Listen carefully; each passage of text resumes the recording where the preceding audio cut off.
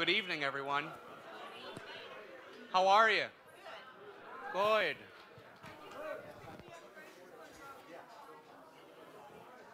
Well, let's uh, thank you so much for coming out this evening.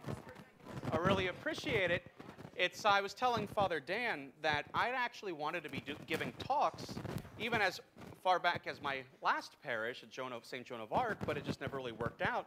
So two and a half years later, I'm finally getting to give my first talk. So this is my make or break, you know. If it doesn't work out, I know that, uh, you know, God just spared me for two and a half years, and my pride drove me to this. On the other hand, who knows? It might turn out all right. We might all learn something, huh? So, but once again, thank you so much for coming out this evening. And before we get started, let's begin, as we begin all good things, with prayer. In the name of the Father, and of the Son, and of the Holy Spirit, amen. Heavenly Father, we thank you and praise you for this Advent season as we look forward to the second coming of your Son and prepare our hearts to receive him at his first coming this Christmas season. We ask that you send your Holy Spirit among us to keep our eyes and our hearts ever fixed on what is above, that we may look forward to that day when we are with you in paradise.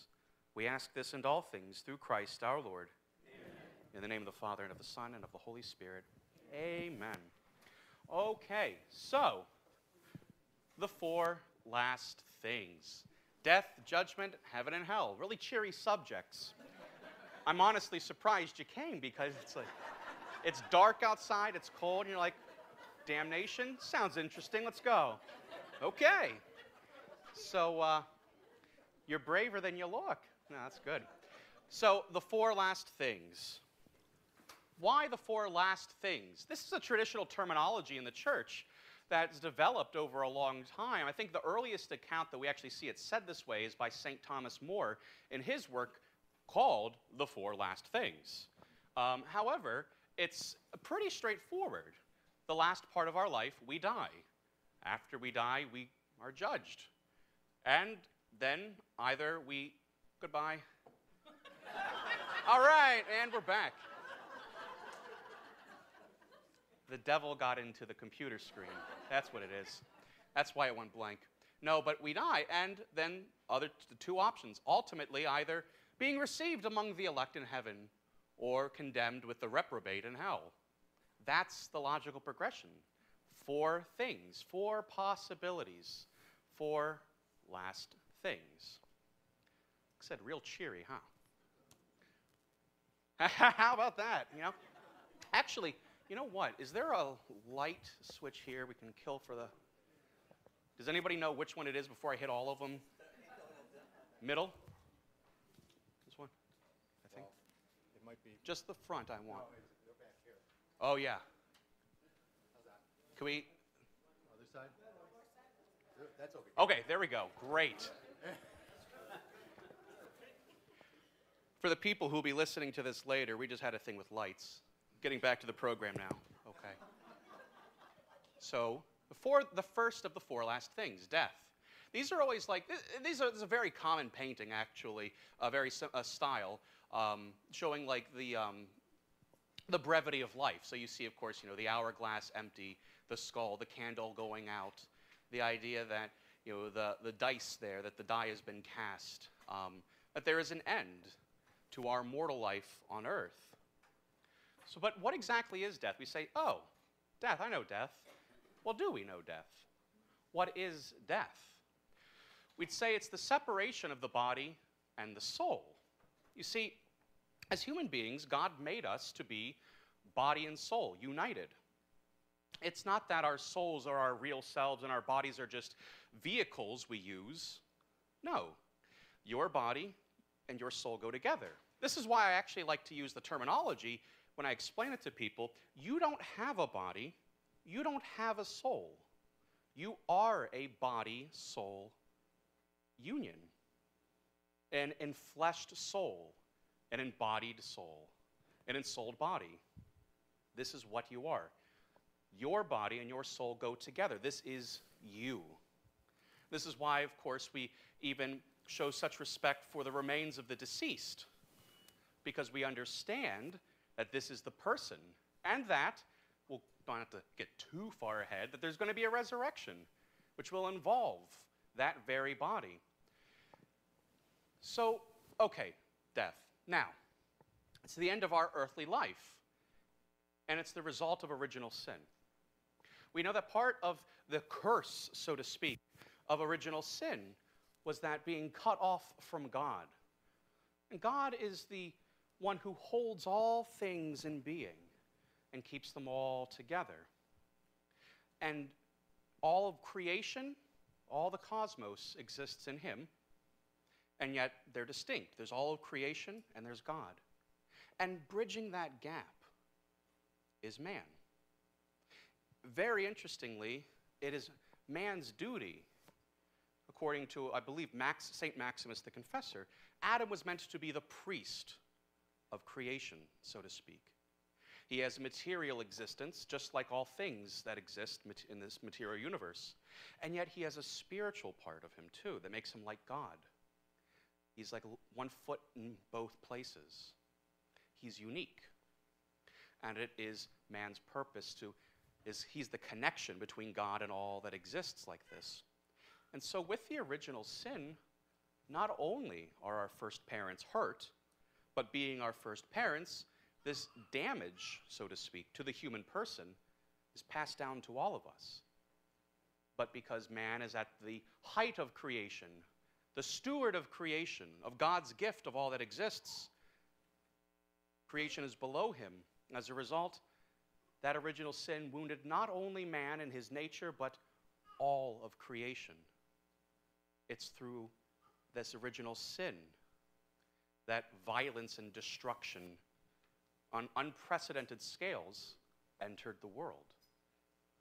And part of this is death, the decay of the human body. It's not that God is trying to punish us with death, like, okay, you broke my rules, now I'm going to kill you. No, he's not that petty.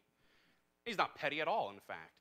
It's a matter that it is God who's the author of life, who sustains us but by rejecting that relationship, we cut ourselves off from that source of life. There's a failing power within us. Our bodies can only sustain so much. So, God did not destine us to die from the beginning. We would have been immune from suffering and death if we hadn't sinned in the first place. We would have shared many wonderful gifts. They're called the preternatural gifts. The preternatural gifts were things that weren't necessarily part of man's nature, but were kind of a bonus. For example, immortality, the inability to die, impassibility, the inability to suffer, knowledge of God. The passions, the emotions, they weren't disordered or thrown out of whack. Everything was well ordered, balanced. This original sin created a crack that went all the way to our very the core of our being and causes profound wounds in all of creation. And so as a result, as a consequence of all this, there is now death in the world. But instead of going from life to death, we really see that ultimately we move from death to eternal life when Jesus Christ, who came to set us free from sin, died on the cross, being not only human, that's how he died, but also God, the source of life, life itself, as he says, I am the way, the truth, and the life. Well, what happens? St. John Chrysostom, in his Easter homily, his famous Easter homily, it's actually read in the Eastern churches as just the homily for Easter many times, talks about how Death swallowed a bitter pill. Hell consumed the light of heaven. It was poisonous to it. How when death took in life himself, death was dealt a mortal blow. What's interesting is Jesus Christ did not take away death, our human experience of natural death. He did something far more dramatic. He made it into the means by which we move to eternal life and ultimately even bodily resurrection. He takes what is evil and makes it part of something that's a greater good. In baptism, we have already died with Christ spiritually. That's why we say this image of you know, the, either being immersed in water or pouring the water. See, in the ancient world, and especially the Hebrew, ancient Hebrew mindset, water was an image that was very strongly connected with chaos, primordial chaos, darkness, evil. And so that's why you see, you know, the image of the Israelites going through the Red Sea wasn't just a matter of a miracle. Oh, they went through a, a, the Red Sea. It's more than that. They passed through death, through darkness, evil. This is why later on in the, the letters of St. Peter and the other early church fathers, they use that image of the Red Sea as a sign and symbol of baptism. We die with Christ. Water is poured on us, we're immersed in it either way. It's almost like we are entombed in the darkness of the water, but we rise from it. There is a spiritual death that we go through in baptism, and we are reborn new spiritually. And we're called to keep growing in that new spiritual light, life in union with Christ. But while the soul is re, re, uh, you know, re, uh, renewed, the body, not yet. Yes, our bodies are temples. Yes, we must respect our bodies and the bodies of others, of course. But we recognize that we will get a new body, but we won't get a new soul. We have one of those to work with. And so it's not that we neglect the body or hate the body, but we acknowledge it as still fallen. We acknowledge it as still imperfect, prone to the sufferings of original sin. We acknowledge that this body will fade. It's not evil, but at the same time, if it comes between a decision to preserve our souls or our bodies, we must put our souls first. Because even then, at the end of the day, that's the very path by which we come to the new body, right? In the resurrection. So Christ changes death. We die spiritually with him and come to new life in grace. But even our own physical deaths become for us no longer the end of our existence, but the beginning of our eternal existence with him in heaven. Few things to clear up. We die once, as it says in the letter to the Hebrews all men are appointed to die but once. Thus, there is no reincarnation. We do not believe in that. Because once again, your soul is tied to your body. Your body, your soul, they go together, hand and glove. Barbie and Ken, you know? Jekyll and Hyde for some of us, right? But uh, they go together. It's not like, oh, my soul can go into another being. And that's not how that works. It just doesn't work that way. Also, we don't become, uh, this is, we don't become angels. Angels are an entirely different species. Yeah, they're cool, but it's like, that's actually a downgrade, okay? Angels are higher than us in the order of creation, right? Animal, plants, animals, humans, angels, God.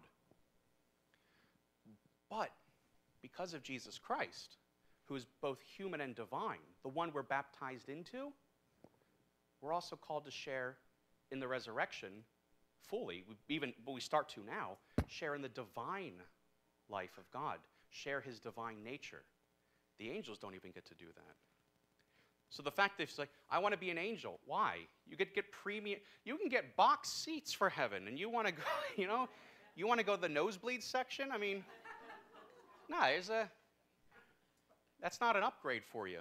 It looks like it, but it's a scam. Don't do it. Okay. So our ultimate destiny is fixed, though, at the moment of our death. I think this is where a lot of people get hung up, and understandably so. See, death puts an end to our human life as the time that we have to either accept or reject divine grace. See what we have going here. So we come to judgment. So we know that we'll die, but the way we die and what precedes that death does very much to determine our outcome. I think there's uh, something to, this is a section I'd really like to help us try to understand a little bit better. Um, There is a quote that I had heard on a show once about how, uh, explaining about a person's life, you know, the meaning of somebody's life, and it said that the punctuation mark at the end of a sentence gives meaning to every letter, every space that came before it.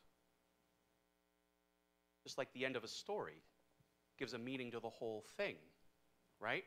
When we watch or read a tragedy, even if in the middle part there's a lot of good scenes that are really, you know, enlivening and warming and, and, and, and heartening, it's a tragedy, and that ending is going to paint the way we view even that good part. Conversely, when we read something like a drama, right? They tend to start off well, get bad, and then get better, usually even better. When we get to that middle part of a drama, well, if we know the ending of it, how it's going to be a good ending, we don't mind the bad part as much. The ending defines the whole thing. Just like the punctuation mark at the end of a sentence defines the whole sentence. It's not that God is trying to catch us off guard. He's like, gotcha. That's why he says to always be vigilant. We don't know when our own end will be. And so we want to try to make it a good ending. That's why you see, for example, St. Dismas, right? St. Dismas, the good thief. You know, Fulton Sheen says he stole heaven, right? The idea that, for all we know, he lived a terrible life before that. I mean, obviously it wasn't going so well if he was not only a thief, but one that was worthy of crucifixion. And yet, what does he do? He confesses and repents. And our Lord says, Today you will be with me in paradise. It's never too late to turn to the Lord. But the final decision that we make, it's easier to make it if we've been trying to move in that direction the whole time. We have that momentum already. So when we die, there are two judgments in the church that we understand. There's the particular judgment and the final judgment. But first, the particular judgment when we die. The particular judgment happens at the moment of death. We receive a particular judgment, meaning you in particular. Either the blessedness of heaven, either immediately or after being purified in purgatory, or the alternative of the eternal damnation of hell. I try to explain judgment which I may have misspelled up there. Stop judging me. no, that's fine. You're right. You, are right to judge me. I'm wrong about that. Well, the computer didn't catch it, so thanks, computer. It really helped me out, pal. At any rate, I like to explain diagnose, uh, uh, judgment as diagnosis. If the doctor tells you you have stage four cancer, you don't look at the doctor and say, How dare you? Mean, it's a terrible thing to hear, but it's not like the doctor's doing it to you. He's telling you what he sees. He has a perspective, a, for, a, a, a, knowledge to see your current status. He's not saying you're good or bad. He's just saying, on a purely you know, diagnostic level, I know what a standard for a healthy human being is, and you don't meet that standard. I have judged, I have determined that you are an unhealthy human being. Think of that. Think of that. Think of also God as a mirror, that He shows us the final judge, the particular judgment will be we will see ourselves as we truly are, both the good and the bad. Because there's a lot of good that's incredible that I don't believe we, God lets us see, lest we fall into temptation. But at the same time, there's a lot of bad that perhaps we don't always see either. It's not that God is trying to send somebody to hell. He's simply saying, here's your state. You've reached a definition. You've come to the end. You've reached the punctuation mark. Now the sentence that is you has been defined. And it's not a matter of saying, I'm putting you anywhere. It's just simply saying, this is what you are. And at that point, that's when we talk about heaven, hell, and purgatory. Because God does not send anybody anywhere, He has never sent anyone to hell or purgatory or heaven, although we never usually say, like, God sent him to heaven. Like, okay, great, you know. Uh, because God doesn't have the authority to just do whatever he, it'll come back on. God doesn't have, God doesn't have, in a sense, in a sense, he doesn't have the authority to do that because he chooses to respect our free will. We get to choose what we wish to become. We get to define ourselves based off of our choices. God simply respects those choices. And the idea is that we have to be able to see what is my current standing. It's always good. This is why they say we should always do an examination of conscience at night. It's good to go to confession frequently. Even Pope St. Paul VI wrote about the importance of frequent confession, even if there's no mortal sin involved. The idea of being cleansed continually. It's just like I'll go back to a medical, you know, once again, I really, really do believe using medical analogies for this stuff it does so much to help and explain it. You know, when they're doing a surgery and someone's bleeding, they spray the water to clear it off so they can see what they're working on. Well, so t- that there too. Perhaps we have a deeper wound, and when we go to confession, we don't have any mortal sins per se. We're just cleaning that off, but it allows us to start going deeper to see, oh, where's the deeper wound? Where's the deeper sinfulness? We don't discover it just so we can put ourselves down, but so we can say, ah, that's where we need to let the divine physician himself come and bring more healing. Frankly, I get excited when I find a new fault of myself. Because it's like, that's an opportunity for me to grow. I don't get down. I'm like, wow, I'm particularly selfish in X, Y, or Z. That's terrible, but that's great news because, you know, you can't a doctor can't heal you unless you bring your wound or illness to him. Well, you can't bring your illness or wound to him if you don't know you have one. So discovering your faults can be a really good thing. Because you know, like you know, the more and more I get cleansed, the better and better I'm doing on heading towards the right way. But the particular judgment, it happens once. We go where we have chosen. Heaven is chosen. Hell is chosen. At the end of the day, we actually do get what we want. We do get what we want. And that's a very serious thing. The idea is making sure we want the right thing and knowing that we want it correctly. The final judgment is similar, but not quite the same. The final judgment will happen at the end of the world, the end of all things. And once again, it's not God figuring out, are you guilty or not? It's God saying, you know, the sheep and the goats, the wheat and the weeds. It's not God playing favorites or picking who he wants. You know who he wants saved? All of us. It's simply he recognizes where we have chosen to be and each thing has its place. He's not sending the, the, the damned away, he's giving them what they want. But we'll go into that a little bit more shortly in our really fun, uplifting section on hell.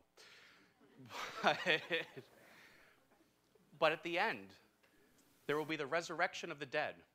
Basically, think of it this way the final judgment is God finally you know, when he came and died for us and became incarnate and died for us, he didn't take away the death or the suffering. We still experience that. He wants to use those as means to grow towards everlasting life. But like we talked about in the beginning, before original sin, there was no death or suffering. No pain, no tears, no, no anxiety, none of that. The final judgment's a cool thing because it's when all the bad things become undone.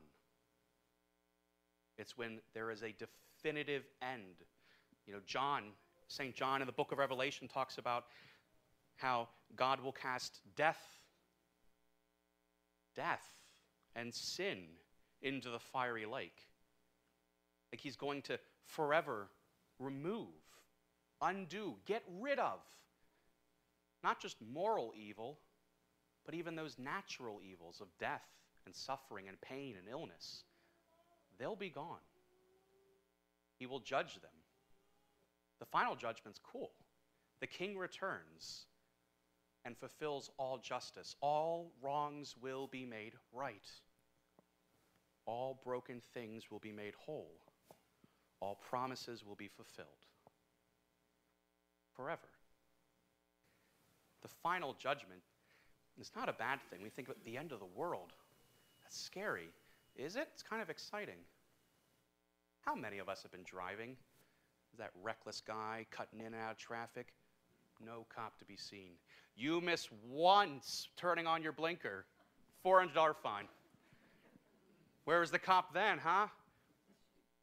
Don't worry, final, final judgment. Justice is coming. So,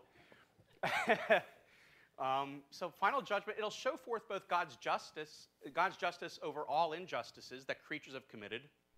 All nations will be gathered before him. The final judgment will show forth the truth of each person's life and relationship with God. Nothing will be hidden. That's the idea, is that it's a recognition of what we are, what we have become. The damned will be recognized as that because they have become that. The blessed will be recognized as the blessed because they have become that. Yes, with God's grace, but by their choice, because God will never force his grace on them. God knows the hour of his coming, we don't. This calls us to be to conversion to be vigilant at all times. St. Paul tells us now is the hour, now is the acceptable day. Don't put off conversion till later. If there's something you feel in your life that you have not given over to God yet, don't put it off. Because just because, you know, we don't know when the end of the world is going to be, it could legitimately be 5,000 years from now or in the next 15 seconds. You don't know. I don't know. We always have to be prepared. One of the things, I'm going to pause here for one second to break that open a little bit more. Particularly um, nowadays, we run into this. As I said in my homily this past weekend, people say, well, look what the Bible says that the, the sign of the end times is there's going to be war and famine, and there's going to be, uh, you know, uprisings, and there's going to be earthquakes, and there's going to be. Please point out to me in the history book where those things have never occurred. Ever since the original sin, yeah, it's, it's been a ride, I'll tell you. We really had to do a bang up job of making things terrible sometimes as humans, and there have been terrible disasters.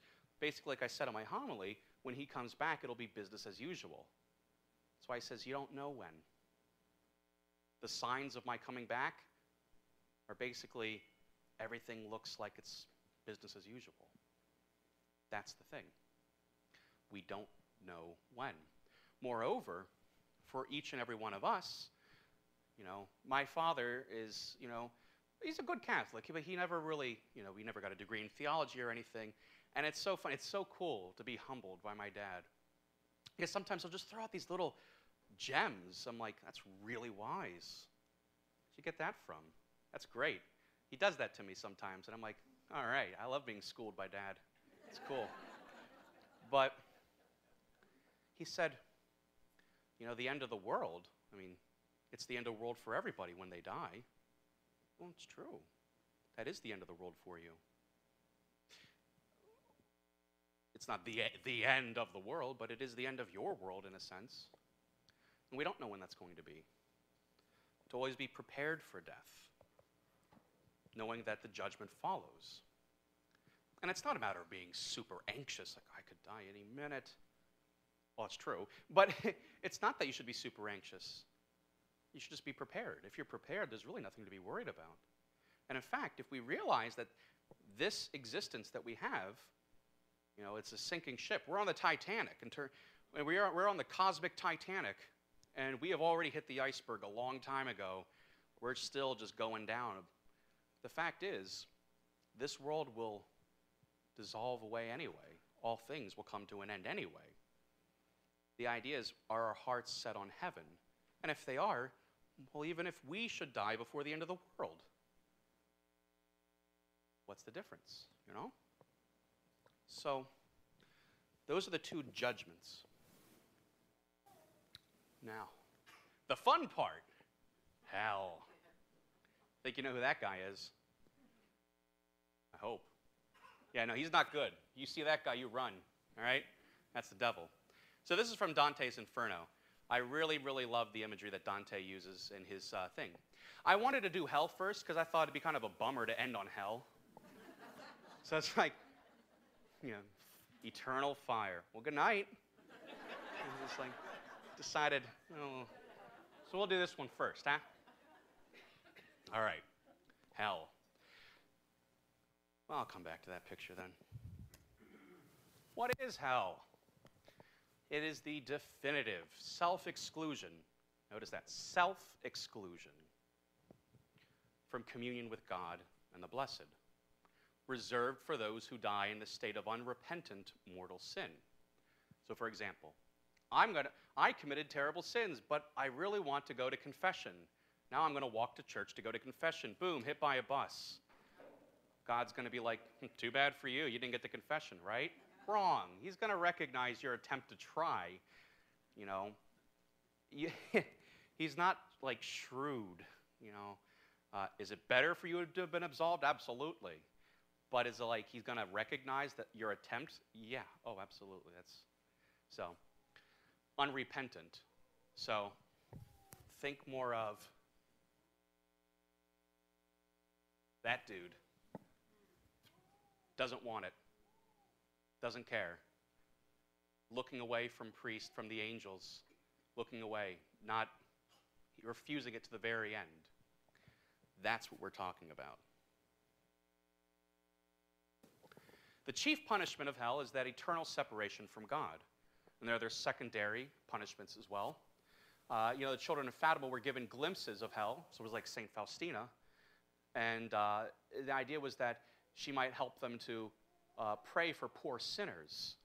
By poor sinners, she meant those souls that are in mortal sin, that they might come to conversion, come back to God. So, hell is a choice against being with God forever. And it sounds, it sounds so difficult to think who would ever choose that? Who would ever choose that? It doesn't sound like that could ever happen. But the fact is, it does happen. One thing to point out, I forgot to put in here, I wanted to. Reserved for those who die in a state of unrepentant mortal sin. Yes, yes, but do you remember the gospel account of the, the, um, well, the final judgment with when our, your Lord uses the image of the sheep and the goats, right? Whatever you did do for me, you did for, or excuse me, whatever you did for others, you did for me. And to the, those condemned, what you did not do for others, you did not do for me. Very interesting little part hidden in there. I think sometimes we get so wearied out by that text because it goes over like, Lord, when did we do this, this, this, this, this, this? Well, you did this and this and this and this and this and this. And therefore, and then it's like, Lord, when didn't we do this, this, this? Well, you didn't do this, this, this. Like, oh, saying the same things over and over and over again. It's hidden in there, so you might get, you know, you have to be careful. He says to the blessed, Come, receive the kingdom prepared for you from the foundation of the world. What does he say to the condemned? Depart into the everlasting flames prepared for the devil and his minions not for human beings. Heaven was prepared for us, hell was not. It's an unnatural state for us to ever be in hell, but it is possible. God does not want anyone there. Once again, He will not force anyone to not go there either.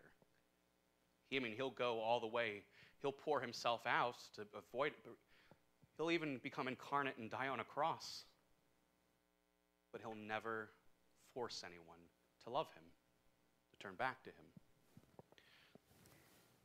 Why does it exist? So God does not desire anyone in hell. He desires that all be saved, but he won't override our free will. We must freely choose his divine love, which means by necessity we can also freely reject it.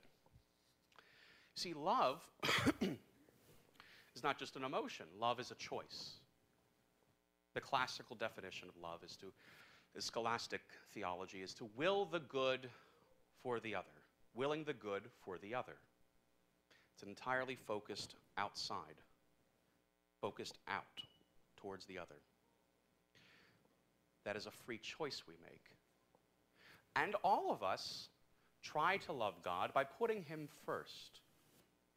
We try to love God by putting His interests, His will first. And yet, none of us seem to do this perfectly. That's why conversion is not just a one moment thing, it's a lifelong process. We are called to conversion each and every day in the sense that we're called to divest more of our own pride every day, be divested of it, pour out ourselves a little bit more towards God each and every day. And that is perfected for us in heaven. You can get pretty close here on earth, but that's also what purgatory is for. We'll get there then. Um, but God's love, either receiving his love or loving him, it's our choice. Devil can't make us do anything. God can't make us do anything. The battle comes down to us and our will. What will we will? Whose will will we will? Ours or God's? Um, what's my next slide? I want to see what I'm doing here. We'll come back to that in a minute. So I want to finish on this part. Hell is a possibility. It's the self isolation. So in the Middle Ages, one of the um, descriptions for hell would be curvatus in se, literally meaning turned in on oneself. Okay? The idea is that it's a fundamentally all comes back down to pride. Pride is the mother and root of all sin. It all boils back down to that. The, the sin of Satan was pride. When we say pride, we don't mean like, you know, I built a shed. I feel pretty good about myself. You should. I can't even put a shoe rack together, you know? But when I do and it's crooked, it's like, hey, but it works. I feel pretty good about myself. That's not the pride we mean. That's fine. That's just like, you did a good job. Good for you. We mean by pride in the sense of sin, of the seven deadly sins, pride, the capital sin, huh? We mean such a rejection of God and all reality that we, I mean, we, we turn away from all things so profoundly that we make ourselves our own universe. We are consumed in ourselves. And that's agonizing. For a heart that's made for the infinite God, to be consumed and locked in on yourself is torture. It's torture. And all other sins, you know, anger, lust, avarice, wrath, sloth, acedia, all these other sins are connected to pride. Pride is a very dangerous sin. That was the sin of Lucifer. He refused to submit to God's will. When asked, Will he follow God's will? Tradition says his response is, Non serviam. I will not serve. When God revealed, tradition is, is that God revealed to, these, to the angels, he intended to not only create man, but to unite himself to them so that they might share in his divine life, thus being even higher than the angels. Basically, he's saying, hey, you know, angels, you guys, we know that you're smarter and lighter, you're, you're higher than these human beings. I want you to serve a creature that's lesser than you, with the end result that of your work being that they're now higher than you in heaven. It's a pretty humbling thing. We should really thank our angels more often. Our guardian angels, you know? Seeing this plan, Lucifer says, No. No. Who are you to tell me to serve that? I'm better than that. I'm higher than that. When you seek to defy God, you try, you sense, in essence, you are trying to make yourself God. You say, I don't need to follow your will. Mine is as equal as yours. Thus, the tradition of Lucifer tries to be God. Hence, Michael, right? Say Michael, his battle cry, his name in Hebrew. Who is as God? Who dares say that they are equal to God? He's the great humbler of Lucifer, casting him out of heaven. Of course, Lucifer casts himself out in all reality.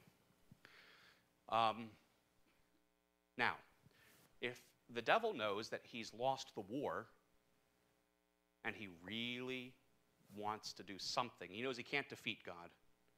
Because remember, all this whole salvation stuff happens, has an eternal aspect to it, so don't, don't worry about time.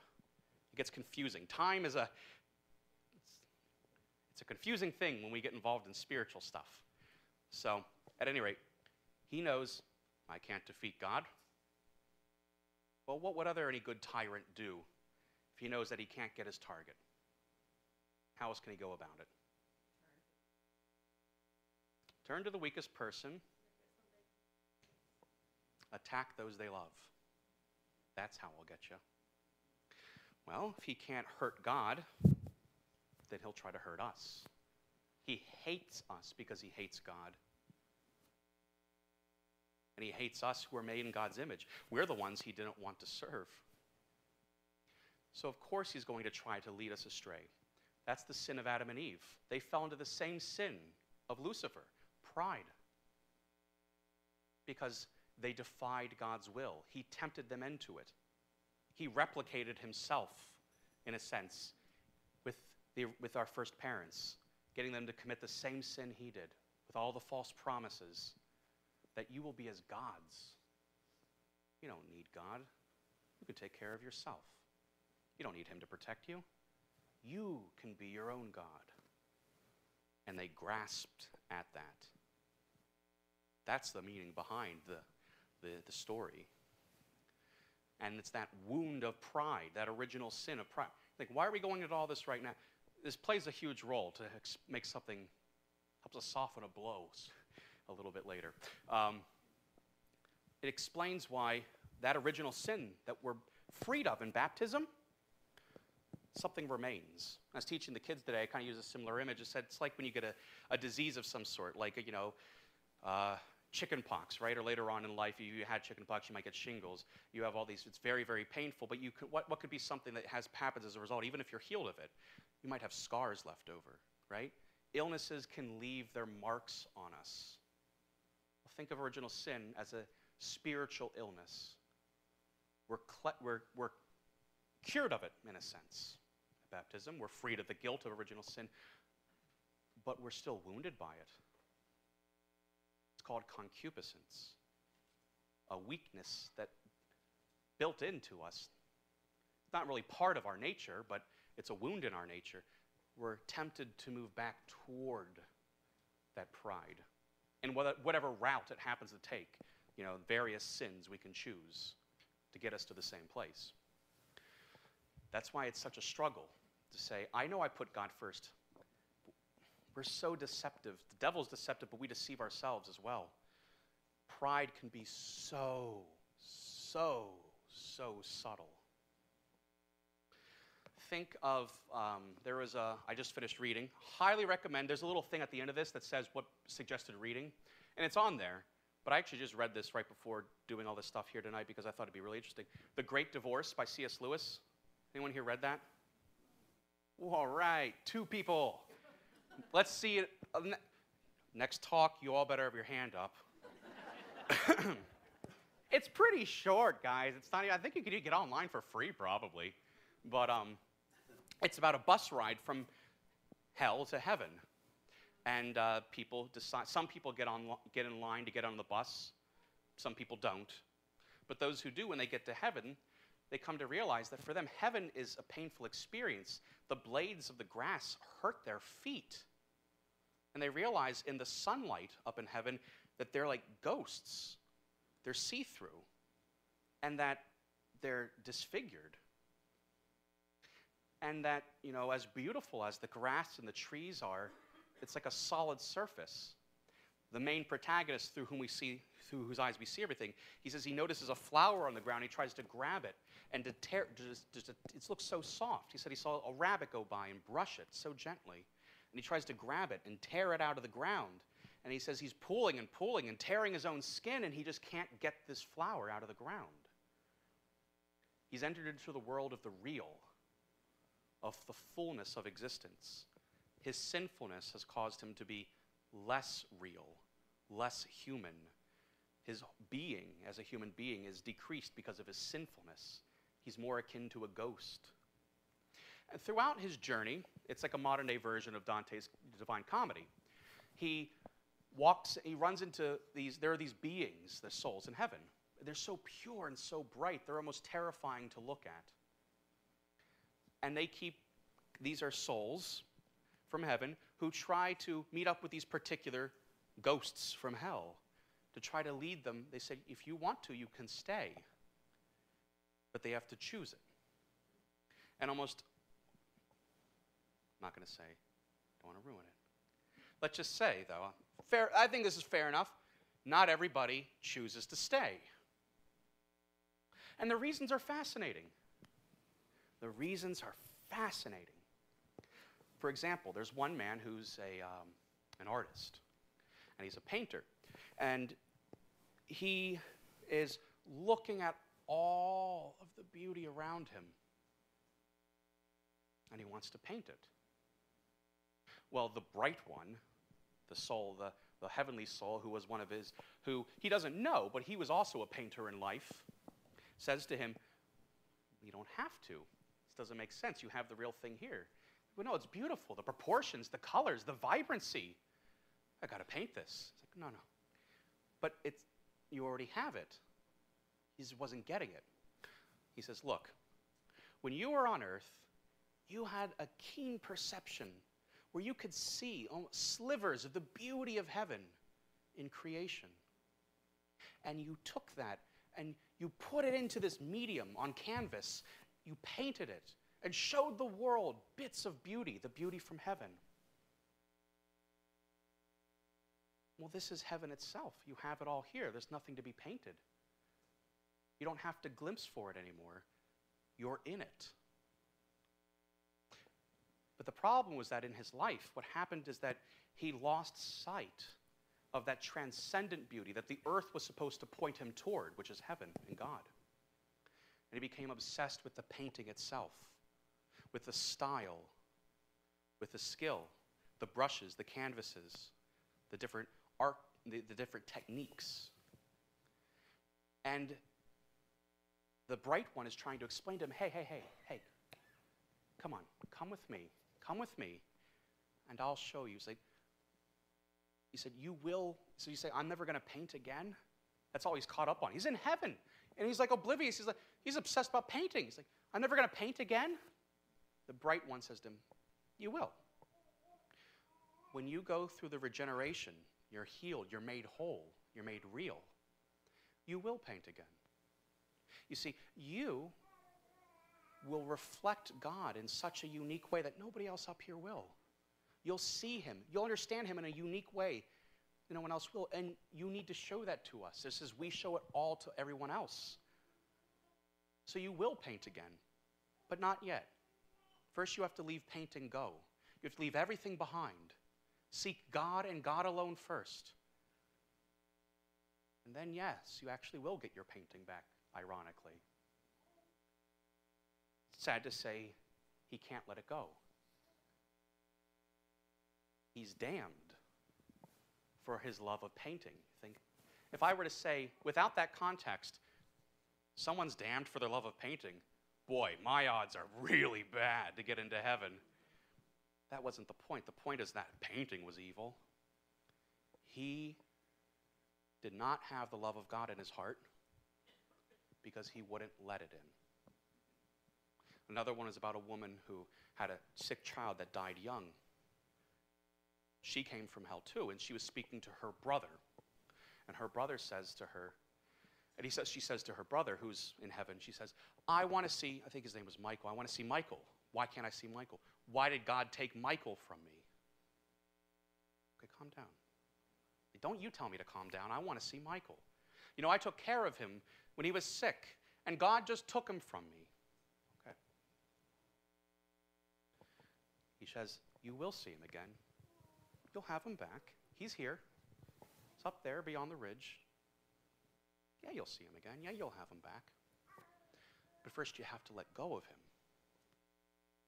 He said, When you were alive on earth, you tended to him so much that you neglected everybody else your husband, your daughter, your family, your friends. And you became so obsessed with him that you didn't even recognize that God was his father. He belonged to you in your mind like he was your possession. She made an idol out of him. The protagonist is saying, I just can't believe this woman is damned for loving her son too much. And the guy who's guiding him says, She's not. She didn't love her son enough because she made him into an idol. She took her own self love, the pride that she had, and put it upon him in such a way that what she thought in her mind was her caring for her son, which is that she says a natural and a good thing. The maternal care of a woman for her child is so beautiful, but she made it into something corrupt, something twisted. That's what evil is it twists good things. She couldn't let go of her son, having him the way she wanted him, when she wanted him, how she wanted him. She was so hardened to have it her way and not trusting that God would take care of her son, even in a way more than she could. And we know that was the case in the story because he's in heaven, eternal beatitude, and the resurrection. The point C.S. Lewis tries to make with all these things is see, hell, heaven's going to be easier because you, yeah, hell's the one that people get caught up on. That's why I'm spending time on that one. Don't worry, it's like, oh my gosh, how we have like 30 more slides? No, we don't. This is just a slow slide. Because we got, it's, it's, it's like we're going through a, like a thing of mud. We're kind of trudging through here. But I really want to break this one open because it's hell is very misunderstood. Um, um, the idea is that those who are in hell are there because they don't let God in. We think, oh, hell is for those who are like Hitler, Stalin. Well, okay, fair point. You know, genocide, it's pretty severe. Um, once again, we don't know that anyone's, we don't know like any particular people are in hell. We should never hope that. That's awful. Ever. We should never. We should hope all find salvation, but we know that it is a possibility. And, but if somebody is there, it's not, they're not there because God's like, let me, don't think of God's judgment on the person as God making a decision. Like, nah, you know, it's not, that's not how it's, just, you almost had me, but you lost points for the hat, you know. He's like, ah, I knew I shouldn't have done that, you know. But that's not how it works. He can't let them in because they don't want to be in. They don't want to love God as God is. Imagine if someone came up to you and said, I would love to be in love with you, but you just need to change everything about yourself to fit what I want. well, that's not love at all. We want to take people as they are, but do we take God as He is? No. God wants us to love Him freely, not forcefully.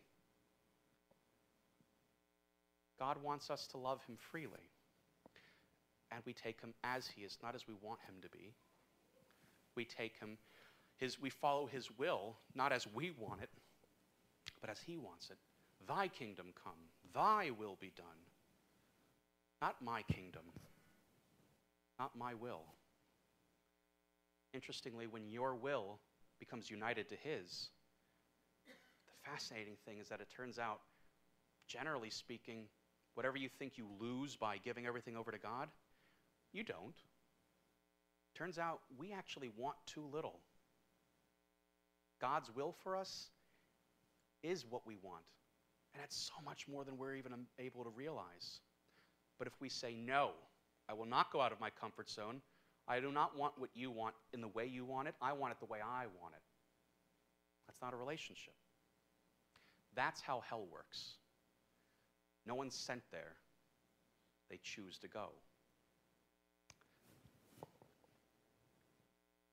Last part, then we're going to take a quick break, stretch your legs, cry, whatever. Uh, okay. Full disclosure to you here, to you listening. Um, this was from another priest of my, buddy of mine. I just thought his articulation was superb.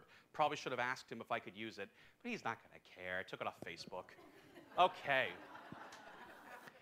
Uh, the guy is brilliant. Like, puts me to shame. He's so smart. Yeah, I'll freely admit that's one of the things I discovered about myself that's a bad thing. I'm kind of jealous of him. I shouldn't be. So I got to work on that. But uh, I do feel jealous because he's brilliant. Kind of funny, too. So, all right. Uh, how is eternal damnation possible if God is love? It's like a really complex category on Jeopardy, right? you know, I'll take that for a hundred, Alex. Okay, so he go he does a very systematic approach. What is love? Willing the good of another for their benefit. A choice to give good things to another without expecting anything in return. Okay. Willing the good. Is justice a good? You know, that's that something we would will to someone? Well, it seems absurd to say that justice isn't a good. Justice is defined as giving to each what they are due. You lend me five bucks. In justice, I owe you five bucks. You break my window in justice, you owe me a new window. Pretty simple, pretty straightforward. It's a good thing. It's what keeps balance. So, willing the good for the other, including justice. Is mercy a superior good to justice? It would seem that it is. Mercy is a steadfast love. It's love that refuses to break faith and instead chooses love, willing to do the good, chooses. It's a love that chooses to abide with the beloved as much as possible, even in the face of difficulty, pain, even betrayal. So, what mercy does is it doesn't override justice. Rather, mercy moderates retribution, and in place of it, it moderates it with forgiveness. And so it elevates the end of justice from paying back what is due to restoring relationship. So mercy and justice work together in such a way that now justice, the fulfillment of justice, is to be understood as the restoration of relationship. Not just, you broke my window, you owe me a new window. Well, there was something that happened between us. It's not just fixing the window, it's also fixing our relationship. That's the key. Justice and mercy go together. But why is some form of penance required for mercy? Well, we can't force another into a relationship, you know? Wouldn't that be almost tantamount to abuse? We see this in human relationships. Here's part of his non serious self Someone rejects my love, it would be creepy if I kept buying them gifts and showing up in their life. The best I can do, someone rejects my love, is to wish them well, return anything I owe them, and offer my help if they ever ask for it. If therefore divine mercy is rejected, God still loves us and wills the good of justice, i.e., that which we are due based upon how we have lived. So some might ask if it would not be more merciful to simply erase those who reject mercy from existence. Wouldn't this be more loving than existing eternally separated from God and suffering punishment commensurate with our sins? Nope. It'd be less loving. Because the first good the primary good that God could ever will for anyone is being. For, uh, for any being is existence itself. For something to cease to exist completely means that God has ceased to love it. Hell exists because God is love and cannot hate anything that he has made. So, why would a soul be allowed to repent after death so as to avoid eternal damnation? Well, the problem is that the defect lies in them and their obstinacy, as we talked about not in the perfection of God. They've made themselves irredeemable. So you see, how can God be a loving God and yet people go to hell? Because love respects the wishes of the beloved. If I love someone and they don't want me to love them, well, the right thing for me to do is not to keep showing up, like, change your mind, baby. Like, calling the police, classic move it means she likes me. No. So we get the restraining orders out, right? If I love someone and they don't want that relationship, if I truly do still love them, I back off. I give them what's owed to them. Justice is giving to a person what is due them. If living a life of hardened mortal sin is what is due that person, and they don't want the, my, my love, i.e., mercy, if I am God, I can't force it on them.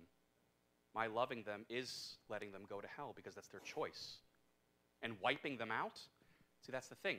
Remember, God is not just a being in the universe, like a super, like Thor or something. God does not exist in the universe, the universe exists in God. God is being itself. That's exactly what it means of the burning bush Yahweh, I am who am. I am being itself, the source of all being, the Alpha and the Omega, the first and the last. And God says, first act of love is that let it be. Let these people exist. To create, to let something exist, is itself. Willing it into existence is an act of love. For God to choose to unmake someone would mean that he pulls his love back. But if God fails to love even one person, one instance, he's not God. Because that means love is not free. Evidently, it can be lost, which means it can be gained, which means it's not real, which means it's, it's just a matter of bargaining. Somebody really got upset with me one time when I preached uh, somewhere. Um, only one person, so that wasn't too bad, I guess. Uh, I'm well, no, it's happened plenty of times at other places, but I mean, like in this one particular instance. Um, and they're fine. That's whatever. You get mad, you get mad. Sorry, we don't see eye to eye on it, but whatever. I'm not going to wish you any ill harm, you know, or keep showing up in your life and giving you gifts. Please accept me. No, that's weird. Um, he said, How, I told you, he, eh, whatever, you have no idea this. I just can't accept the fact you said God still loves the devil. I said, Yes, but he does. You don't understand. Love is a free gift. The devil does not allow it into his heart. Love is not given because it's earned. Say, if I say, oh, I love someone, it's almost the, the, this, this lesser notion of love that people seem to have, like it's earned based on action, is like, oh, if I love someone, therefore I love them because they've earned my respect based on their actions. That's not how God's love works. It's a free gift. It's superior to all forms of love. God doesn't love you because you did anything or didn't do anything. He loves you because he loves you. His love is its own it's its own it's, a, it's its own origin. It has it's its own meaning, it's its own purpose. It's not uh, it's, it's, it's, it's not nothing comes before it. Nothing causes it. It's its own because God is love. It's it, it's it's it's it's it's uh, equal to Him. It's as eternal as He is. So if God pulls His love back, that's not just saying that God's love, that, that's an imperfection. Not only in God's love, but in, therefore in God Himself. That's not the true God. Not the God that we've had revealed to us. So, in this sense, how do we know He loves the devil? Because He still exists. How do you know He still loves the souls in hell? Because they still exist. You're ever having a particularly bad day and you're like, how could God ever love me? You exist. If, you're, if you can complain, that means you exist, right? The fact you exist, there you go. God's holding you in being. He's choosing you. He's willing you to exist. He doesn't need you. There's nothing you can add to him. In fact, you're even here just means he wants you to be here, not for anything he can get from you, because he wants you. So even your complaining is a gift, right? Non existing things can't complain. So, wow, cool, huh? So, that's the thing. God's, and the issue is, it's not issue of God's love. It's an issue of letting that love in or not. But before we get to this last part, yeah, it's a cool place. Uh, you want to know how much God does love us? He tries to show it to us, not just by dying on the cross. In the church's tradition, um, we have these, what's called, you know, we talk about um, he descended into hell. There are many pictures you can find online, uh, famous classical paintings called the, with a similar theme. Like, you know, you're like, the resurrection of Christ. There's like a thousand famous pictures, paintings by different artists with that title. Or, you know, the nativity of the Lord. Same thing. Um, it make, makes looking up pictures sometimes difficult if you don't know the artist, because that means you look it up and like, oh, a thousand pictures are called this. But another one you could look up is called The Harrowing of Hell. The Harrowing of Hell. And it's an image that shows Christ bursting down the doors of hell, entering into the place of darkness. The idea of his coming to redeem Adam and Eve. Um, there is this tradition that it's an experience of him. Basically, what it means is fundamentally, he experienced the full measure of the pains of hell, which is isolation from God. Okay, take this in for a moment. Second person of the Trinity, both human and divine. So in his, human, his divine nature, he's always connected with the Father and the Spirit. But in his human nature, he is free to experience suffering.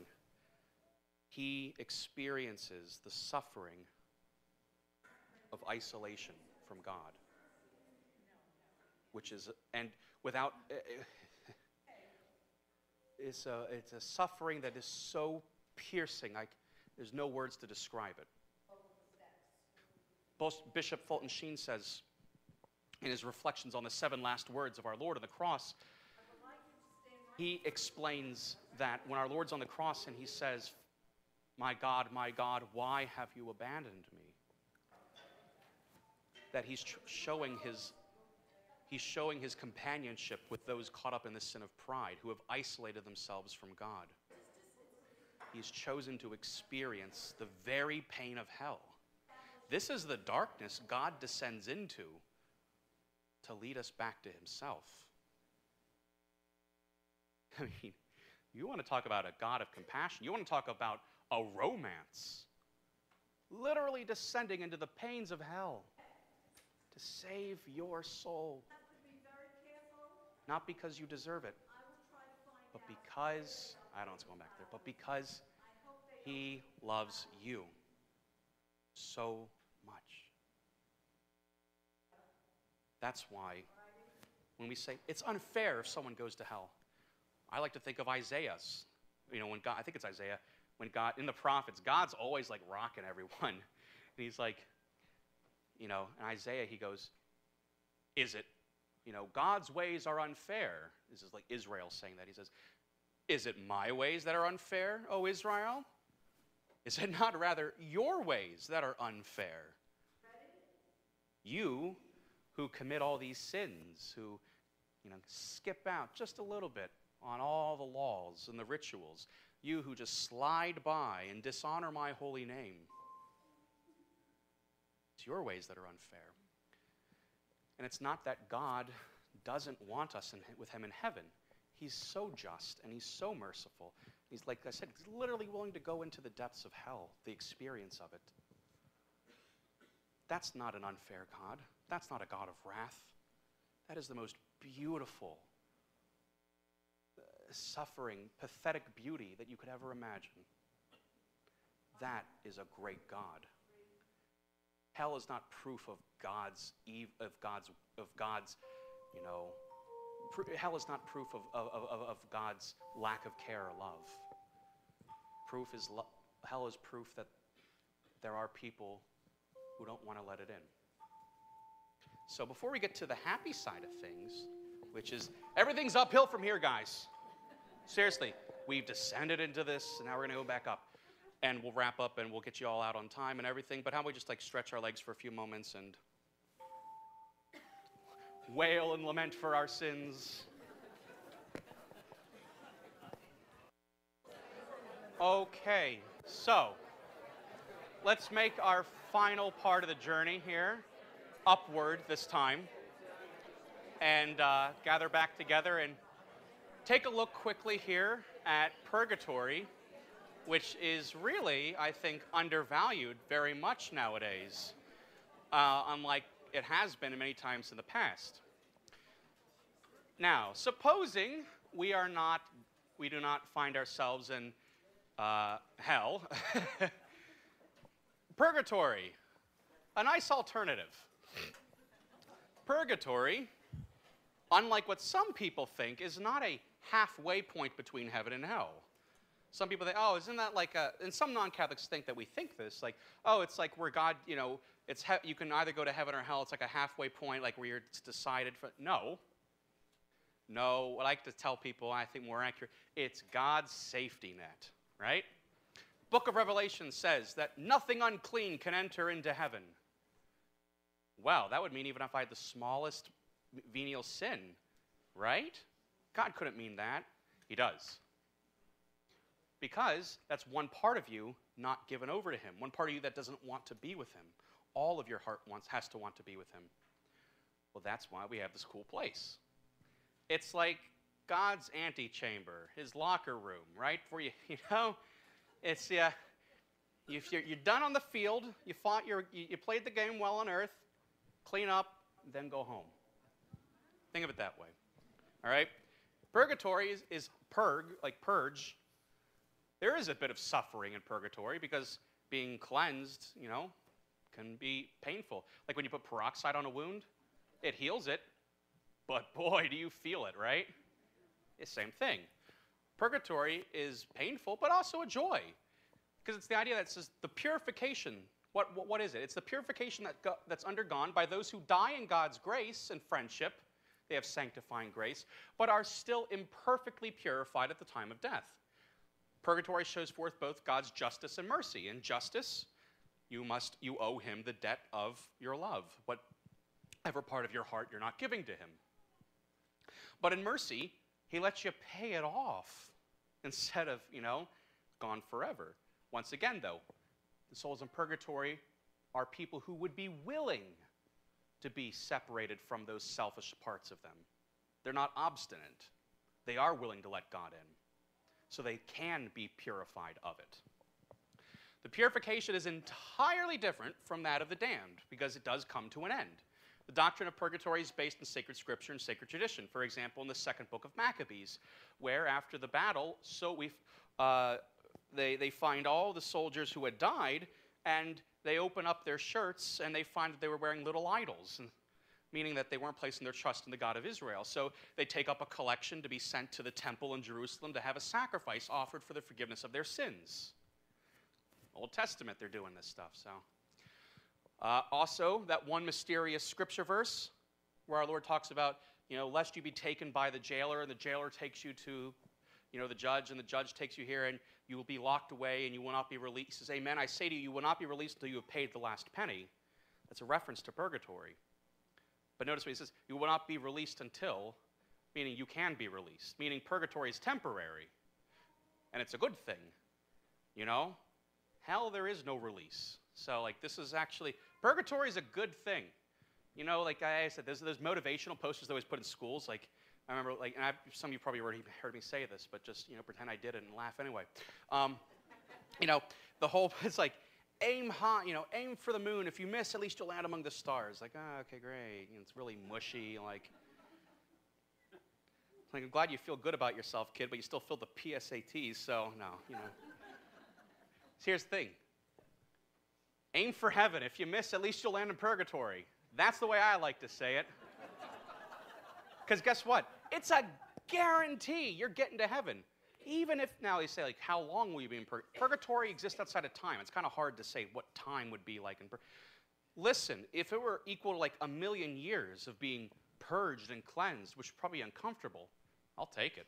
If I know I'm definitely getting to heaven, you know, some of our Protestant brothers and sisters say, Well, I know I'm going to heaven. Like, well, that's great. I wish I had that assurance. What's cool, souls of purgatory can say that. That's what's awesome about them. You know, yeah, we should pray for them. So don't be like, Why do I have to pray for them? They're going to heaven. Don't be jealous. Help them get to heaven because then they can pray in for you because you're going to need it too. Uh, we can help them by our prayers, and they can help us by their prayers in general. We don't pray to particular souls of purgatory. We ask souls of purgatory pray you know, ask them for their intercession. But they can't pray for themselves. Their time of doing penance was given them on earth. If they died without anything being uh, repented of, any part of themselves not being given over to God, there is no sense of contrition or turning back to Him. They can't make up for that on their own now. Just being, it's like their time out, is itself the punishment that purges them as they draw closer to, to heaven. Heaven.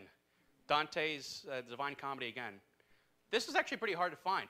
Evidently, there are a lot of really detailed, interesting pictures of hell, a little bit less of purgatory, and heaven. It's just like pictures of clouds. It's like, well, I hope it's more than that. I could see that. On, I could, I could see that from a 747. You know? It's hard to find like pictures representing the glory of heaven. Um, but I think maybe that might teach us a lesson. Kind of hard to imagine what would heaven be like, you know? Heaven is perf- perfect life with the Holy Trinity, a communion of life and love with the Trinity, the Virgin Mary, the angels, and all the blessed. Supreme and unending happiness, not just a pure emotional happiness, but like the, I mean, I mean, so much more, eh, unimaginably more than that, a pure joy. Greatest, the greatest joy of heaven will be the beatific vision, that is seeing God face to face. Here's what's so cool about that God the Father, if you listen to our gospel this morning at Mass, God the Father is unknown and unknowable. That's why Jesus says, No one knows the Father except the Son, and anyone to whom the Son wishes to reveal him. It is through Jesus Christ we come to know the Father, the eternal mystery, the ancient mystery that is God Himself. We come to encounter. Every spark of beauty, truth, goodness that we see, that we touch for the briefest moments in this life, that's the fulfillment of it all. You know? There will be a lot of secondary kinds of secondary, but still great, wonderful joys in heavens, joys and pleasures. And the great and the greatest joys of heaven do not rule out the lesser, but still wonderful. How to get to heaven? Okay, dying in a state of grace, i.e., in a state of sanct- in, a, in a state of sanctifying grace. Those will be they will be for, with God forever in heaven, either immediately or after purification in purgatory. Uh, one must be perfectly purified to enter into the beatific vision. Okay, heaven has been closed to us by sin, but by his death and resurrection, Christ has opened the gates of heaven to us. God wants us all to make it to heaven, but will force no one. The new heavens and the new, new earth. This is exactly what it's going to look like. I have a picture from the future. No. Uh, the fact is, mm, thirsty. There will be, at the end of all things, a new creation. This world, you know, will go away. The, it's the, the ancient image, St. Peter uses this in his letter. He says about how God will, all things will be destroyed with fire. Like the world, all, thi- all of creation will somehow burn away and then be made new. I don't think he literally means it, but it's an image of the idea that all things will eventually fall. It will, it, there'll be a decay. There will be an end to all that exists phys- in the material universe, but God will remake it as it was in the beginning, right? But more, but perf- per- perfected. No possibility of sin ever coming back again. And there will be everlasting happiness, peace, and communion with God and all those in heaven. Universe will be transformed. God will be all in all. This is a little fun section the glorified body. Everyone will have a resurrected body. We say in the Nicene Creed every week, I look forward to the resurrection of the body. But only those in heaven will have glorified bodies. The resurrected bodies of every human being in hell will also conform to the states of their souls. Yeah, it's a pretty interesting thing I don't think we realize. Everyone's getting a resurrection. Everyone. So that means for those in heaven, what they experience with their glorified risen body, the joys of heaven won't be just spiritual, they'll be almost, in a sense, almost tangible too. Well, there's an opposite side to that. So, you know all those medieval paintings where they have like devils like prodding people? Like, that's ridiculous. I don't know. Uh, if you're in hell, evidently you get a body back, which is kind of bad news bears because that makes your suffering so much worse. Maybe there's going to be something like prodding. I don't know. But um, yeah, well, that's why we want to avoid it, right? But the resurrected bodies of every human being. But those who are resurrected in heaven, the glorified body. What's cool about this is that How do we know, what do we know about the glorified body? The following information is kind of put together both from what we read in Scripture about Jesus Christ and his risen body, because we notice after he rose from the dead, his body was a real body, right? He ate fish, he walked, he talked. Thomas touched him in the side, but it wasn't quite the same. St. Thomas Aquinas will use scripture and other aspects of philosophy and theology to, this is a lot of things just kind of brought together here, okay? Aspects of the glorified body. Identity. The glorified body will be that of the same person before they died. See? No reincarnation. You don't become a butterfly, don't become an angel. You're you. Better get to know yourself and like yourself. You'll be with you forever. But you don't have to do it, you know, isolated and out. You can do it in a cool place and actually enjoy yourself. We will keep our original identity. However, our risen bodies won't look the same as they did in this life. Because remember, they said Mary Magdalene didn't recognize the Lord. And yet, in a sense, we wouldn't say that he was like completely different. Like, you know, he was clean shaven and bald. Like, no, no, no, no. He looked, and then he was only five feet tall. No, he didn't change like that. It was almost like you could imagine wait, it is you. How could I have not seen it before? I see it now, but initially I didn't. There is a difference, but we are the same people. Integrity. The glorified bodies will glorified bodies will have all their parts, regardless of how they died. Our bodies will be complete. There will be no bodily defects or disabilities in our glorified bodies. A young man asked me in class today, how can God, like if he comes back in 2,000 years and everyone's risen from the dead, I mean, there won't be anything of me left. So It'll be dust. Like, yeah, but I mean, how can God put that together? Like, okay, hold on. You know how He made everything, right? What did God make everything from? Nothing. He could put some dust back together. He's God. You know, geez, have some faith, kid. No. It's... so, quality. Uh, the glorified body will appear as in the prime of life, only better, and will, of course, retain the gender God gave it from the moment that it was conceived. You're you. Get used to you. Jeez. Like when Jesus rose from the dead, he's still a man, you know? Agility. The glorified body will be able to be wherever it wants to be, when it wants to be there. So that's why it's just like apostles locked in the upper room, and all of a sudden, hey, I'm, hey guys. And Jesus just shows up, and like, ah. And then he's just like, hey, what's that? Boom, he's gone. You know, he can just do that. The physical body is physical, it's a real material body, but it's not bound by the limitations of the material universe anymore because it's glorified, it's raised higher than it was before. Human body 2.0, okay? Put it that way. Subtlety. Matter will not act as a hindrance to the glorified body. The glorified body will be able to pass through objects. This is a real body, not merely the appearance of a body, not a ghost, but a real body. Impassibility. Remember that thing that we lost from original sin? the ability to, the inability to suffer, we get that back. The more, no more pain, suffering, no corruption or decaying or wearing out of the body. Every tear will be wiped away. Finally, clarity and brilliance, clarity slash brilliance. Every glorified body will be beautiful beyond our imagining. No matter how that body may have looked while in this world, they will be magnificently brilliant, stunningly so. They'll be the perfection of what God's creation is. And there will be no pride on our part to fall in love with ourselves because our own perfection shows forth God's brilliance, just as masterworks of art show forth the brilliance of the artist. You know? Helps to holiness and heaven. Faith in Christ and baptism, really good start. Holy Mass every Sunday and Holy Day of Obligation. It's this weekend, by the way. So. And frequent reception of the Most Blessed Sacrament. Nota bene, we must be in a state of sanctifying grace to receive Holy Communion. Okay, back to it. Frequent reception of the sacrament of confession, obedience to the church, like the teachings, the faith doctrine, true devotion to Mary, the Mother of God, the holy angels, and all the saints. You got literally all of heaven's like rooting for you. Let them help you, you know? Daily prayer, the rosary, value of sacramentals, you know, holy medals, holy water, formation in the truth. There you are, you're doing that. Good work, see? Make it practice already. Practice of the virtues, doing good and avoiding evil, keeping the commandments, penance and almsgiving, commitment to the poor and vulnerable, special way to the unborn. Suggested reading. I'm going to leave that up there. Do I have anything after that? I don't think so. There you go. So, in a nutshell, there's eternity. And, yeah, there you go.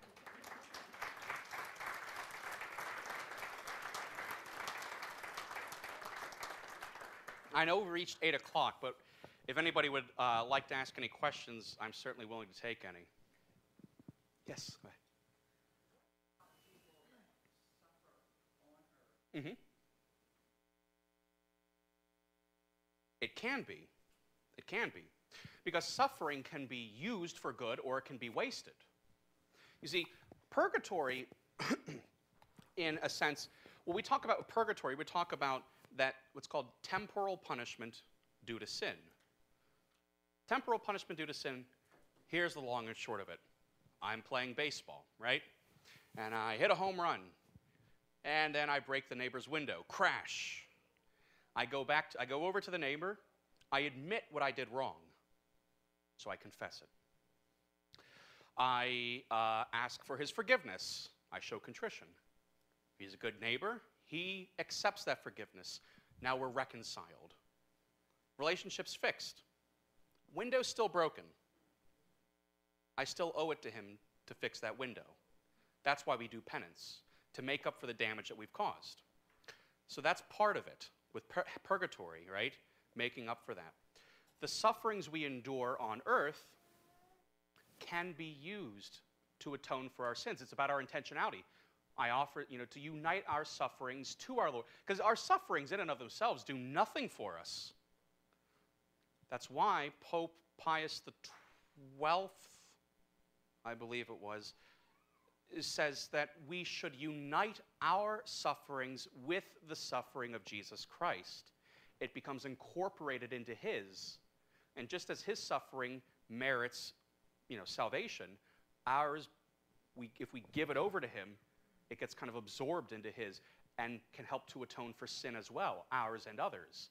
We become part of his work to redeem the world. This is what St. Paul means when he says, I make up for what is lacking in the sufferings of Christ for the sake of his body, the church. He's not saying that Christ's sacrifice wasn't like good enough. He's saying that he needs to be incorporated into it. So our sufferings can be part of our purification even now if we choose to use them that way. Some people complain, and you know, I mean, I've complained too. I'm not saying I'm perfect, but it's a good lesson. Our sufferings can be really powerful to help us spiritually and others, and the souls in purgatory. Um, but just suffering in and of itself is not purgatory because you think the souls in hell are suffering, and yet that suffering will not end. As our Lord says in the Gospel of Matthew, where the worm dieth not and the flame is not quenched. Suffering in and of itself can be an incredible help towards you know, going through purgatory, shortening the time ahead of time. Or it can become a means by where we get caught up in ourselves by using our suffering as an excuse to turn back in on ourselves. That's why looking to the cross is so important. This is why the crucifix is so, so, so important. Not just to tell us how much God loves us, but to lead us into how we are called to imitate Him. And not just imitate, but unite that suffering with His in such a beautiful way that Christ's sacrifice lives in and through us to touch our souls and those of others. It's a great question, though, because suffering, there's a lot of value there. It's a, it's, there's a lot there. Yeah.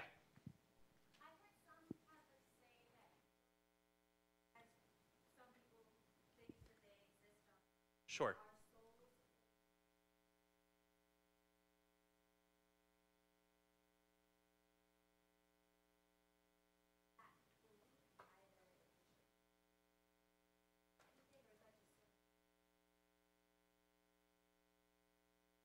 Sure. Well, the authority I'm going to rely on uh, for that answering that question are all the exorcists I've talked to. If you want to try, if you, if you want knowledge about what's going on at the ground level, you don't ask the general. You ask the guy in the trenches. He knows what's up, right? He's living it. All of them have said to me, and, the, and there's a lot of there are books on this. Actually, there's a book in TAN Publishing about purgatory that talks about this. Souls in purgatory who, by God's permission, are allowed to appear to ask, in a sense, ask for prayers. But there's also a few signs, lest we, lest we slip into a talk about other things here, because uh, it's a good question, but I, I don't want to branch off too far. Souls in purgatory, if they really are souls from purgatory, we have to be very careful because the demonic likes to imitate the deceased, the recently deceased even, to try to lead us astray. Uh, because that's all they do. They're tricksters, they're liars. That's, ugh, it's, and it's horrible, but they do that. Generally, if it's a soul in purgatory, one, they're allowed to be there because of God's permission. Not just going rogue, you know. Two, they generally won't communicate, you know, other than, it, it, other than making clear the fact of, I need help, you know, pray for my soul. So they won't try to like establish communication or anything like that. Um, and generally speaking, there's differences that there's no sense of dread. Like, I mean, fear. Yeah, something appears at the foot of my bed. Pff, those sheets are ruined, right? but there's a difference between that and utter dread, which you would encounter with the demonic, which is a fear that's not just being scared, it's a fear that's palpable. It's a darkness that's palpable. It's an entirely different, it's an entirely different form of fear when it comes to the demonic. Um, but with a soul, yeah, you're like, oh, geez. But it's at the same time, it's not quite the same aspect of sheer horror. So there is some merit to it. There is, uh, you know, there's um, many, many, many, uh, supposedly, souls of purgatory visited many different saints. There's a convent in Italy where they have a burn mark, like of a hand, right up on the top of the door frame, where a soul, this nun who had visions of the souls in purgatory and woke up from it, saw the hand marks is still burned on there. The idea is that it's trying to communicate, hey, we're in purgatory, kind of need your help. Once again, they will not try to communicate with you, like try to have a conversation or talk about stuff. That's if that happens to you, don't talk to it. That's not okay. But yeah, so there is merit to it.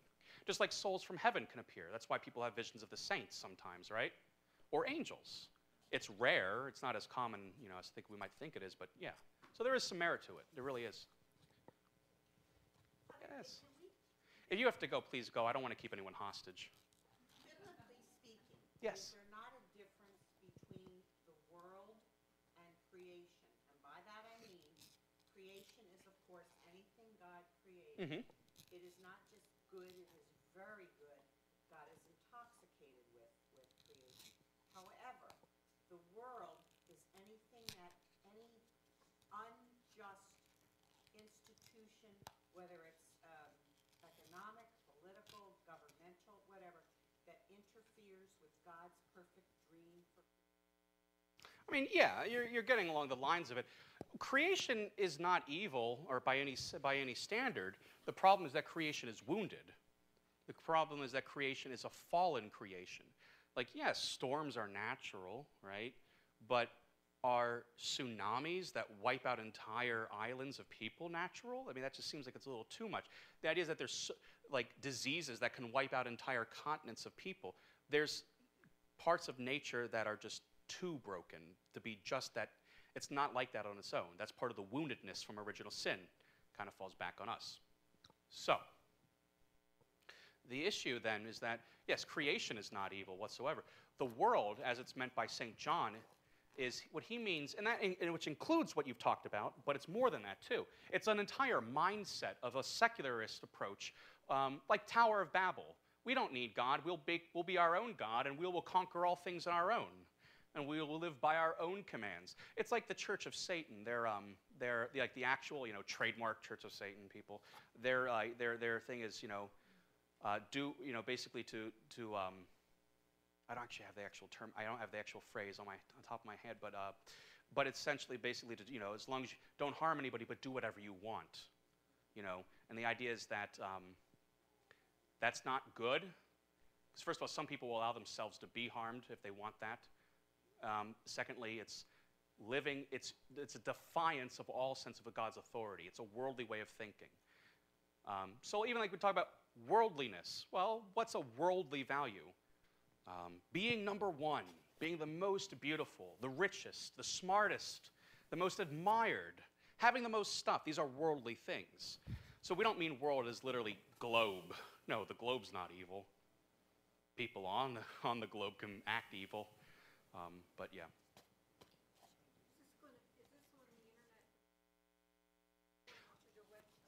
I think we might be able to put this up on yeah website. So yeah. Oh yeah, absolutely. Yes.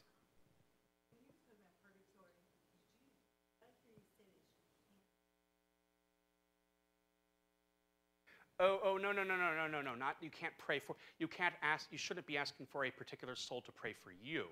You should ask for once again because it's kind of tied into what we were talking about back over here. Communication with the dead can be a very dangerous thing. So, like we say, I'm going to ask all the souls. You know, souls in purgatory, pray for me that I might whatever. That's fine. They can pray for you. They can't pray for themselves, like for their own forgiveness. Right now, I can say, Lord, have mercy on me. They can't. They've made their decision up to a point. Like now, this is their working out of what's left over. Yeah. What I so the avoidance is to avoid trying to talk to one person. Correct. Correct. And also, by the way, yeah, if you're praying for a soul in purgatory, and that soul is actually, you know, since they, you know, they, they made bail, you sprung them out. It's like, oh, I can't believe I wasted all these years praying for you. You've already been out. No, it, it's not like it gets wasted. God's going to probably help someone else. Like, I've been paying your bills all this year and you moved. You know? Jeez. No, it helps someone else out. The new occupant gets the help. Yeah.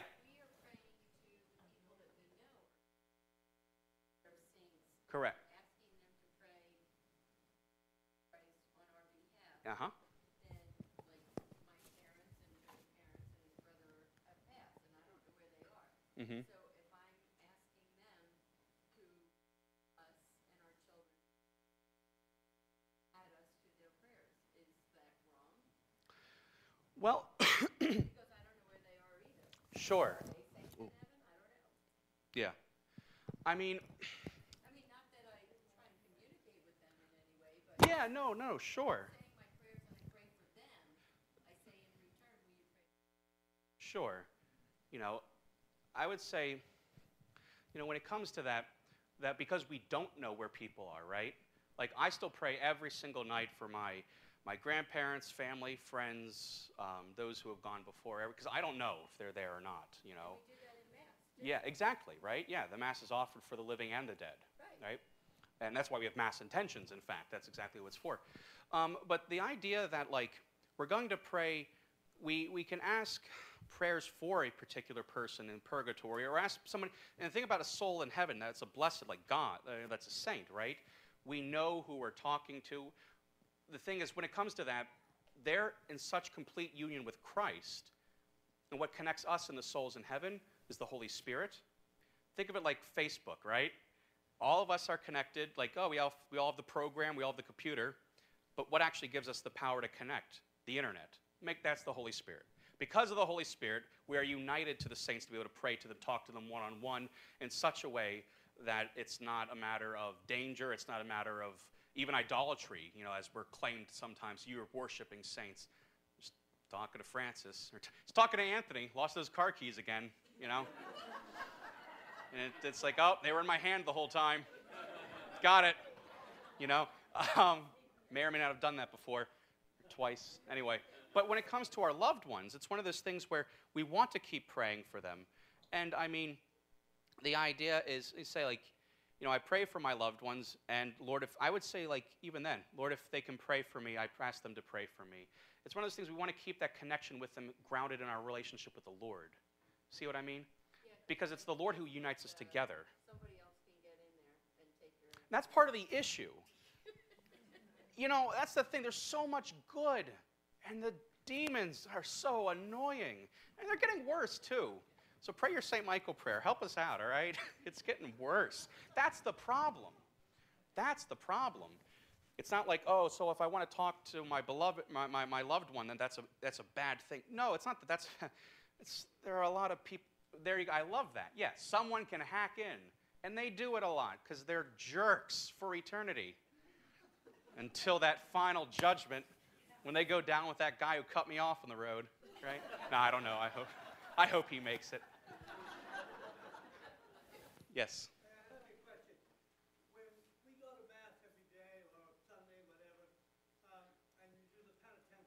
Mm-hmm. uh, I realize that's not the same as going through the sacrament of baptism, of confession, uh, reconciliation. Yes. But are we not forgiven of our minor venial sins at that time? Yes, and also when we St. Thomas Aquinas would say when we receive Holy Communion, venial sin, venial sins are absolved. Yeah. Oh, yeah, so that's why staying close to the sacraments are, I mean, yeah, that's pretty. See, and the, the, the closer you stand in the light, the less the darkness can be present. The closer you are to the warmth, the further away the cold is. The closer you are to God, the more evil stays away. Who goes straight? Well, evidently Mary. um, but I guess here's the thing what could be a possibility? Once again, because we can't, it's like we don't have our authority to say, I know that this person went straight to heaven. Odds, though, so can, but can people go straight to heaven? I would say yes. I would say yes. Um, one, one, one prime example during giving the, the, you know, the last rites, okay? So the anointing of the sick. So if somebody's actually going through, like they want, they need the anointing of the sick, it comes with absolution of sins, which means if they're conscious, they should actually ask the priest to hear their confession first. You know what I mean? They should actually hear this because that's appropriate. That, that would be the that's what last rites means. It, rites, R-I-T-E-S, plural. It's not the last anointing. It's all three. It's a trifecta of confession, anointing, and holy viaticum. Which in holy viaticum, it's not just receiving communion the last time makes it automatically viaticum. There's actually a rite of viaticum. It's pretty cool. Um, that's what last rites is as a total. If somebody receives absolution from confession, so absolution's taken care of, but you say, okay, what about that temporal punishment due to sin, the stuff we have to work out, like in purgatory, that might be left over if we were to die right then and there? Um, at the moment of death, the priest is also allowed to administer something called the apostolic pardon. Okay? So at the moment of death, the priest is given permission to give the specific prayer, which is a, is this, uh, I'm trying to remember the name of the prayer off the top of my head. That's why I have it in the book. Because I never want, I don't want to mess it up. I keep it right there bookmarked. But something about like, by the authority given to me by the Holy See, and something that apostles, holy apostles, in the intercession of the holy apostles Peter and Paul, I grant you a full remission of uh, full remission and something of all your sins, the name of the Father and of the Son and of the Holy Spirit, which is just like all debts paid. No, no. That was a demonstration. No cheating, no jumping in line. I don't think that counts if I, if I inserted the word something something a couple times. But yeah, so like I would say, like then somebody right there died, unless they decided to commit a mortal sin in half a second. I mean, now I'd say their odds of going straight to heaven at that point pretty good. You know, but once again, that's why it's so close to stay close to the sacraments. So it's not one of those things where it's just like, oh, I found myself in a situation where I haven't even thought about calling a priest. We should, you know, that's why we're on call. Somebody call me. Over here. No, I can't. You're not actively dying. I only have the authority when you're actively dying. Otherwise, it won't count. I can't just do it. I can't go rogue. That's what the devil did. I don't want to do that. One second. One second. I don't know. Yeah.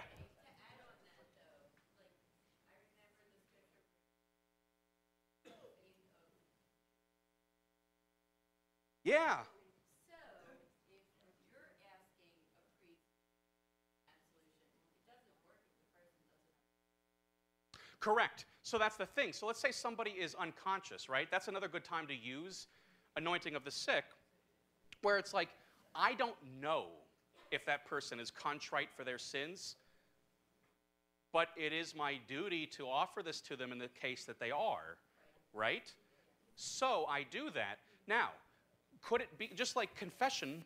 Sac- absolution wouldn't be valid if the person actually wasn't sorry, even if they said they were, but really they weren't. It's not magic. It's not like, oh, I said the right words and waved my hand, therefore you're forgiven. No, your intention matters for it to work. If you're not actually sorry, it doesn't take effect. Same thing with anointing of the sick, apostolic pardon. I just like to, I'm just like, I really hope you want to be forgiven. you know, I don't say that, I actually say the real words. But I'm thinking that. I'm thinking, you know. Yeah, I know, I know, I know, I know. You know? Yeah, no, that's very valid. Yeah, because once again, it's not just Matt. It's not like, you know. Oh yeah. Yeah, Sorry. You know, if you, you read the obituaries, these people put in, so-and-so went home to be with the Lord. And, you know, they read, a lot of people believe in predestination. Oh So yeah. I'm wondering, what's gonna happen to these people? Are they going straight up like they think? Oh yeah. No, no. Just because you think it's going to happen doesn't make it's going to happen. Like, it's like I know for a fact that I'm going to get a check for a million dollars tomorrow. They're going straight I don't care how many good vibes I get about it. I'm still going to make less than. I just hope they get into the sieve. Oh, it was the. Uh, yeah, me too. Are you kidding? me? I I hope I get there too. Well, that's the thing. Yeah, like, and that's the thing. I don't want anyone to canonize me when I die. Like, well, he's with God now. I hope if I'm in purgatory, you better be praying for me. Don't just assume I'm in heaven. Help me out, man. Pray for my soul.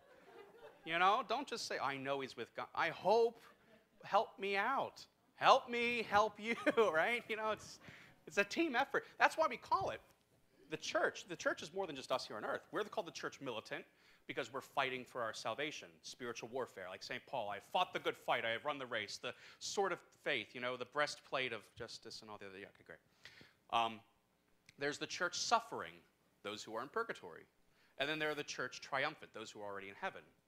We all got to work together.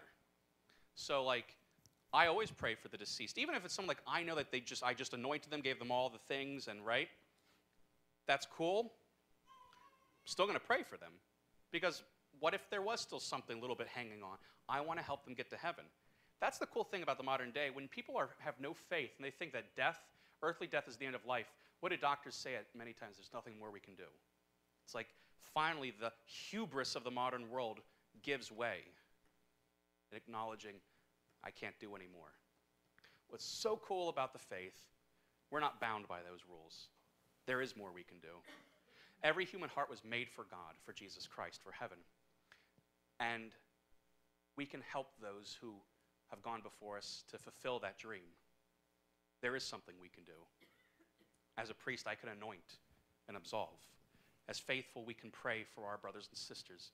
There's so much more we can still do. Even when the world falls short of being able to take care of people, we can do so much more still. That's why praying for the dead is so important. Don't just assume we go straight to heaven. I, know, I hope, I mean, if I did, that'd be great. Seriously, if I get locked in purgatory, I'm going to rejoice. I'm not going to, lie. I'll be like, oh man. Yeah, I know. It's like I just slid into home. I just made it. Like they're gonna be like, no, let's wait. Let's do it. We're doing a review on this. You know, throw a flag. You're like, no. And then they're like, ah, looks like you know, come back from commercial break. It looks like he just made it, and everyone's like, boom, like, yeah. Now I don't know if that's what it'll be like at all, but whew, man, if I get in there, woo, that'd be what a relief. I don't care if I'm like in the fires of purgatory for a billion years, because it's like I know it's coming to an end. Guaranteed heaven. Pretty exciting. Pretty exciting. So. you got that right, because it comes to an end and you're growing closer to God, so you're growing in joy and love every day. Pretty cool. Yeah. I'm going to wrap it up here in a minute and give you a blessing. Last one here. Yeah. Mm-hmm. Mm, mm-hmm. Sorry to hear that. Mm-hmm. Mm-hmm. Oh, well.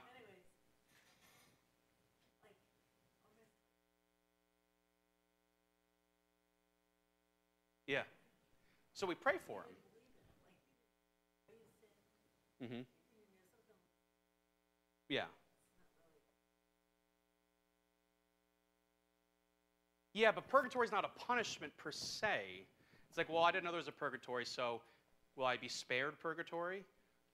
It's just like, that's the safety net. You don't want to be spared the safety net, just in case you need the safety net. So it's like, even if you didn't believe there's a, just like someone who says there is no hell, and like, eh, all right, I hope you don't find out the hard way. Uh, you know, it's going to be there, whether we realize it or not. Um, so, like, there is a purgatory. So, can there be Protestants who don't believe in purgatory in purgatory? Sure. And we should pray for them. Mm-hmm. Well, I don't know. Maybe more Catholics because we knew better and we, didn't really like. Yeah. Hey, that's a that's the danger of having the one true faith. We have more responsibility. So, and the more you're educated and the more you know, the more responsible you are. So, gotcha. Because now I just educated you more. Yeah. No. Well- well, let me, let me, let me, lem- I'm gonna, we're gonna, I'm gonna finish up. I'm gonna give everyone, I'm gonna say a prayer and then I'll grab you afterwards, okay? Okay. In the name of the Father and of the Son and of the Holy Spirit, amen. Heavenly Father, we thank you for the gift of our salvation wrought through the sacrifice of your Son on the cross. And as we praise, bless, and adore your holy name, we ask that you send your Spirit on our hearts, that we might be open to giving ourselves entirely to you, who are goodness, love, and mercy itself. We ask this in all things through the intercession of our Blessed Mother as we pray, Hail Mary, full of grace, the Lord is with thee. Blessed art thou amongst women, and blessed is the fruit of thy womb, Jesus. Holy Mary, Mother of God, pray for us sinners, now and at the hour of our death. Amen. The Lord be with you. May Almighty God bless you, the Father, the Son, and the Holy Spirit.